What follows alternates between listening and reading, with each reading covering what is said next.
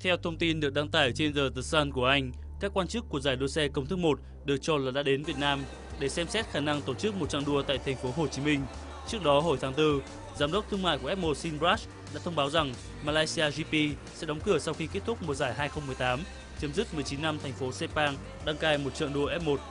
Sự thờ ơ của người hâm mộ Malaysia và việc kinh phí bỏ ra quá lớn trong khi nguồn thu lại không đủ bù đắp là lý do khiến trận đua này đóng cửa.